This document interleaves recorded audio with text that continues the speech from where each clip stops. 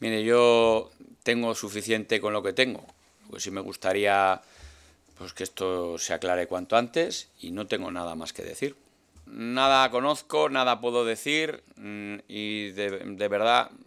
vengo aquí a hablar de algo que me parece bastante más sustancial para las personas de Castilla y León,